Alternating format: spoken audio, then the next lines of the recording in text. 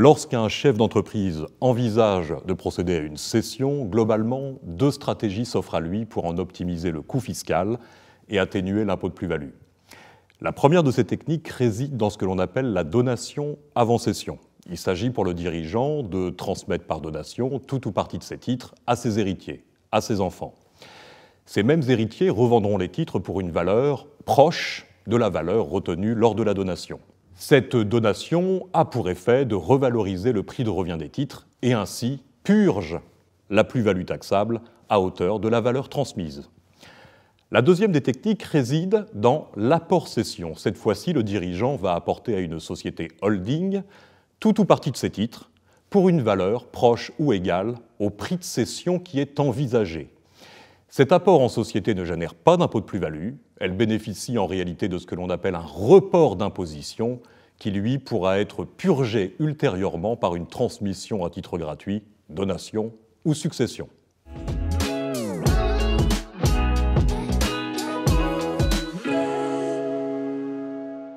Le conseil principal que je donnerais à un tel dirigeant qui envisage de céder sa société est de euh, entamer une réflexion très en amont sur ses besoins futurs en revenus, son futur train de vie, ses projets personnels et familiaux.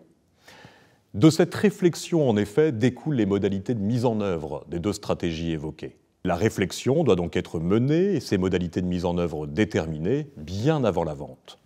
S'agissant de la donation avant cession, à titre d'exemple, une telle donation pourra, euh, dans certains cas, être réalisée avec une réserve de ce que l'on appelle l'usufruit. Cette réserve d'usufruit lors de la donation permettra aux parents de conserver, postérieurement à la cession, la jouissance ou les revenus du bien sur lesquels le prix de cession aura été réinvesti. Il s'agit donc pour le dirigeant de se projeter sur sa vie future et de définir très en amont l'architecture patrimoniale post-cession. En ce qui concerne l'apport-cession, il convient de souligner ici que le prix de cession a vocation à être enfermé au sein de la société holding patrimoniale. Par conséquent, l'apport d'un volume excessif de titres à la société holding aura peut-être pour effet de contraindre le dirigeant à devoir sortir des liquidités de cette société en acquittant un impôt de distribution égal à l'impôt de plus-value qu'il a souhaité éviter. Il s'agit donc de déterminer avec la plus grande finesse le volume de titres qui doit être apporté en société holding et le volume de titres qui doit être conservé pour être cédé en direct. Ce prix de cession perçu en direct pourra être réinvesti ainsi dans une enveloppe de capitalisation, un contrat d'assurance vie, qui permettra de générer des revenus réguliers et même, dans certains cas, d'un régime de faveur au plan de l'impôt sur le revenu.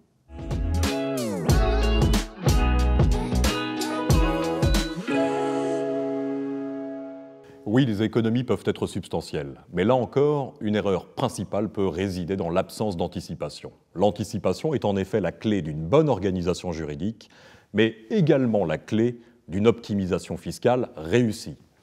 S'agissant de la donation avant cession, à titre d'exemple, différents leviers, différents moyens permettent d'augmenter le volume qui peut être transmis en franchise d'impôt et qui permettent donc d'améliorer l'optimisation. Un couple pourra ainsi euh, décider d'aménager son régime matrimonial et d'apporter les titres qui ont vocation à être donnés à une masse commune au sein de leur régime matrimonial. Ceci permettra aux enfants de bénéficier de deux abattements fiscaux et non d'un seul, de deux barèmes progressifs et non d'un seul. Deuxième élément, il pourra aussi être appliqué ce que l'on appelle le dispositif dit pacte du treil, qui permet de diviser par quatre le volume la valeur plus exactement des titres qui ont vocation à être donnés. Ainsi, un dirigeant âgé de moins de 61 ans, qui a aménagé son régime matrimonial, qui a mis en place ce pacte du treil, peut en réalité réaliser une donation en franchise d'impôt avec réserve de l'usufruit à son profit pour un volume d'une valeur totale d'un million six cent mille euros. Lors de la cession de ces mêmes titres, une plus-value ne sera constatée que sur l'usufruit réservé par les parents, qui correspond à 50% de la valeur des titres. Autrement dit, une économie d'impôt aura été générée sur la moitié de la valeur des titres cédés, soit un taux d'imposition moyen de 15% et non de 30%. Il faut ici évidemment souligner le fait que les droits de succession, outre l'impôt de plus-value, aura été définitivement éliminé sur l'intégralité de cette valeur. S'agissant de l'apport cession maintenant, si un dirigeant envisage de céder son entreprise ou sa société pour une valeur de 5 millions d'euros Eh bien, s'il apporte à une société holding un volume de titres qui représente 4 millions d'euros, c'est-à-dire 80% de ces titres, lors de la cession qui aura lieu, la plus-value ne sera calculée et déterminée que sur un volume d'un million d'euros, que sur les 20% de titres qu'il n'aura pas apportés à la société holding. Autrement dit, l'impôt de plus-value aurait été divisé dans ce cas-là par 5 et le taux d'imposition moyen sera donc de 6%.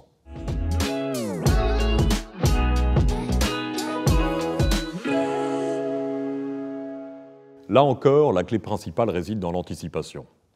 Dans le cadre de l'apport-cession, par exemple, l'apport à la société holding devra avoir été réalisé plus de trois ans avant la vente. Si l'apport est en revanche réalisé moins de trois ans avant la réalisation de la cession, eh bien, le dirigeant qui cède aura l'obligation de réinvestir au moins 60% du prix de cession détenu par sa société holding dans une nouvelle activité économique et non pas patrimoniale. Or, l'optimisation fiscale ne peut avoir pour contrepartie la liberté du dirigeant. L'anticipation aura donc une vertu principale, celle de laisser entre les mains du dirigeant une réelle liberté de réinvestissement dans sa société holding postérieurement à la cession. Nous devons également euh, appuyer sur le fait que de telles stratégies doivent correspondre à un but civil, à des projets familiaux, à une véritable architecture patrimoniale. Le but ne peut être exclusivement fiscal, il ne peut pas être non plus principalement fiscal, il doit correspondre à une véritable architecture, architecture qui relève du travail d'anticipation transversale, juridique, fiscale et économique. De telles stratégies et leur mise en œuvre ne peuvent relever du prêt-à-porter on pourrait même dire qu'elle relève de la haute couture.